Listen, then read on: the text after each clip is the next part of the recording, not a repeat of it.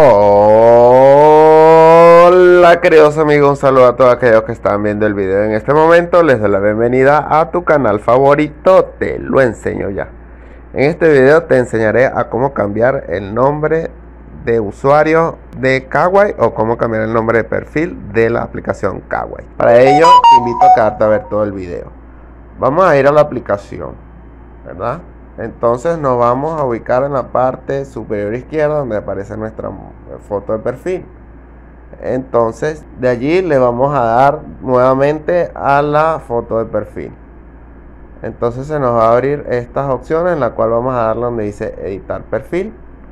Entonces acá como estamos observando dice nombre de usuario y si ustedes pues quieren cambiar el nombre de usuario pues este lo borran y este, allí les va a decir si está disponible o no está disponible. Este usuario en la aplicación Kawaii y le damos acá al símbolo del bien en la parte superior derecha.